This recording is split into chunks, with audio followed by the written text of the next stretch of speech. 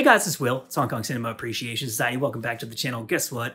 It's a pickups video. It's a Eureka Entertainment specific Blu-ray pickups video. So this is all the stuff I've gotten in from Eureka since the last time I did a pickups video. There's one thing in here I think I may have shown off before on the channel. I can't honestly remember, but I had it in this room um, because I reviewed it uh, a couple days ago. So I was like, oh, I'll just put that one in the pile as well. So um, first here we have the two Taoist tales. So this is from the Yuen clan, right? So Yuen Woo-ping and family, his brothers and stuff like that. Taoism drunkard and the young Taoism fighter. I've never seen either of these movies. Honestly, had never even heard of them until this was announced, but I loved Miracle Fighters so, so, so much that I'm really, really excited to check these films out. I also have to say, I freaking love this artwork. I think it's so cool. Um, and then you get, it's really bright in here right now. I'm like filming right in the middle of the day. So, and I decided to open the light so that we could actually see, or the, the shade, excuse me, but that means the sun is saying, I am in charge here and I shall do with you as I please. Um, and then let me pop out the disc here and you can see that there's, so they did do artwork for each film. And this is Darren Wheeling artwork, if I'm not mistaken. And uh, I just, I, I really like, I like the colors. I like like the arrangement of the figures. I like the kind of like supernatural creepiness of it and all like the wildness going on. So I'm really excited. I loved Miracle Fighters, like I said. I'm excited to check these out. Not really familiar with either film. Okay, so this next one I'm insanely excited about. Maybe, let me look at the whole pile. This might be the one I'm most excited about. I'm not 100% sure. Um, Broken Oath. So that's Angela Mao, and um, I've never seen this film. A lot of people have told me they absolutely love it. It's one of their favorite Angela Mao films. The reason I'm really excited about this is, as you can see right here, a film by Zhong Changhua, who directed like legitimately three of my favorite like 1970s Hong Kong films, which are um, King Boxer, which is one of my like top three all-time Shaw Brothers films. I freaking love that movie. He did the Double Crossers, which I just reviewed for this channel, which I thought was phenomenal and a really underrated and underappreciated and underseen film, which I highly recommend, especially if you like like heist type of films, like Man on a Mission, like thriller type of movies. Um, and then also The Skyhawk, which I thought was like a phenomenal old school martial arts movie. And one of the things I love the most about his style is he has this really unique narrative style that reminds me almost more of like novels or theater than it does films because he tends not to have a movie that is driven by the actions of one single character, but these very kind of well, like Byzantine stories where you have like five, seven, eight, nine, ten characters who are all pushing the plot in all these different directions. And it's a really innovative and interesting and complex narrative style. And the fact that he manages to fit it uh, into these films that are like 90, 100 minutes long, I think it's just so impressive. Um, so here's the back here. And uh, like I said, I really cannot wait to check this out. So if you saw my recent announcement video for that is fucking awesome. For uh, what's going to happen on the channel over the next couple months, I'm going to try to watch as many Hong Kong films as possible over the course of November and December. And a lot of the films in this pile are on the list of films I'm targeting to watch. So let me know in the comments if there's any particular release in here you really want me to get to or any other film that you want me to watch during that period.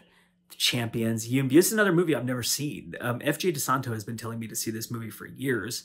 And uh, and then I finally got wind of the fact that Eureka was releasing it, and I was like, I should wait for the Eureka release. But then Perry Fan 49, um, who is also known as HK USA uh, Reviews and Interviews, um, who has two great YouTube channels and is a huge uh, friend to this channel and a great supporter and aficionado of Hong Kong film, he sent me the Hong Kong Blu-ray. So now I have two Blu-rays to watch of this movie. But here's the Eureka one. Um, and I love the 1980s uh, Hong Kong like hand-drawn poster art. It's like some of my favorite stuff ever, especially for the comedies and stuff like that, like the old school like winners and sinners posters and stuff like that. I love this shit. So I'm really happy they decided to put that on there as the reversible artwork. And there's even some trading cards in here. So there's that. And then you get these two. This is super cool. Excuse me.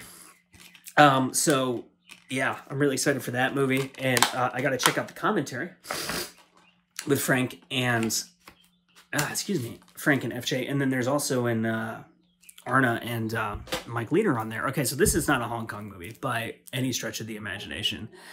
they put out Laurel and Hardy, The Silent Years, 1927. There's also they've announced for 2025 they're putting out Laurel and Hardy, The Silent Years, 1928. So even though this has nothing to do with Hong Kong cinema, it's a Eureka release, and I would just thought I would show it off here. Um, this is 1921 until 1927 is the date on the back here, and it's 315 minutes. So what is that, like five-ish hours?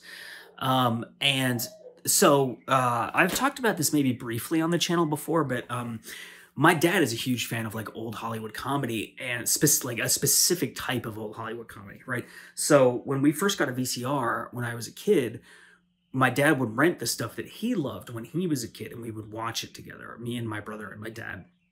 And so we watched like all the Marx Brothers movies, Laurel and Hardy, Abbott and Costello, Three Stooges, like that stuff, right? And then when I got into uh, to high school, I became really close with my grandmother. She loved um, like the kind of screwball Cary Grant style comedy. So I watched a ton of that stuff with her, you know, so like Philadelphia Story, Arsenic and Old Lace, Bringing Up Baby, um, like uh, His Girl Friday, like all those types of movies, right? So uh, I was really excited when they announced this because I, I, honestly don't know if I've seen any of their silent stuff. Maybe I have, maybe I haven't, like if it was ever released on VHS. Um, so, but my, my dad loves that stuff. And uh, like he loves W.C. Fields too, and like Mae West. And he'll like send me clips on Instagram that he finds of like their scenes or like, you know, scenes on YouTube and stuff like that. But um, I'm just really excited to check that out for nostalgic reasons because I watched a lot of that stuff when I was a kid.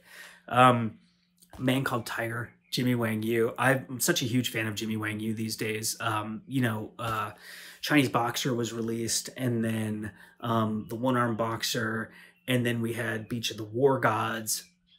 And I've just become a really big Jimmy Wang Yu fan, and I've never seen this film. I am really excited to see this film and that's all i mean that's all there is to say about it uh, if you want me to target watching this one sometime soon do let me know in the comments. Uh, the more comments i get for a specific movie the more likely i am to drift towards that movie and watch it and review it for the channel so this next one is a japanese movie but i really want to watch it. I just haven't made the time for myself yet um, and so i'm just going to show it off to you here and then hopefully i will eventually watch it and review it. It's called message from space and it looks like this like just batshit insane like post Star Wars. It came out in 1978, so literally a year after Star Wars, right? So I don't think that's a coincidence. And it was directed by Kinji um, Fukasaku, who directed Battle Royale, but he also, I believe, directed. Didn't he direct Samurai Reincarnation, which was just batshit insane, and which was a movie I really really liked. Um, and uh, he didn't do Battles Without Honor and Humanity, did he? Battle Royale is the only thing that's listed on the back here. And I have to say, I'm not like insanely familiar with his career, even though I recognize his name when I see it. But um, yeah, I know this movie just sounds kind of nuts. It's like a nutso Japanese sci-fi, like Star Wars exploitation type of film. So I'm just, uh, you know, I really want to see that, and I'm excited about that. And so here's the last release. So I reviewed half of this release. What does that mean? So it's The Swordsman of All Swordsmen, which is a Joseph Kuo film from 1968. As a bonus feature, this has The Mystery of Chess Boxing, which I think is probably the more famous film uh, which you can see right here. So I reviewed The Mystery of Chess Boxing, and that is up in Patreon now. That won a recent poll of our patrons of what they wanted to see me review. Um, and so I, I just posted that in Patreon I, yesterday or this morning. I can't honestly remember when, but it was very recent. So that'll be up on YouTube within like probably the next month or two. Um, but uh, I, I, haven't watched Swordsman of All Swordsmen yet, but I really do. I'm really interested in seeing that because 1968, that's very early um, for these types of films. Obviously, like Come Drink With Me was 66. And then One Armed Swordsman was 67. And then obviously all this, you know, uh, there was like um, Dragon Inn and all these movies started blowing up and coming out. But 68 seems like very early. It's like a wuxia revenge film. Um, and it stars Tien Peng from A Touch of Zen. Uh, so yeah, I'm just I'm, I'm very excited for this film because I loved Mystery of Chess Boxing. I love Seven Grand Masters, which is another Joseph Kuo film. Like I've really liked basically all of the Joseph Kuo films I've seen, so I'm excited to see more of his stuff. So um, those are all the Eureka releases that I have picked up recently. And let me show you all the spines so you can just see all the titles together. And like I said, I, I am going to try to watch as many Hong Kong films as possible over the course of November and December. So if there's anything in this pile you want me to target watching sooner rather than later, or if there's anything at all that you can think of that you love that I have not reviewed that you would be interested in seeing me talk about and review, drop the title in the comments and I'll see what I can do. I aim to please. My name is Will. It's Hong Kong Cinema Appreciation Society. We'll see you next time.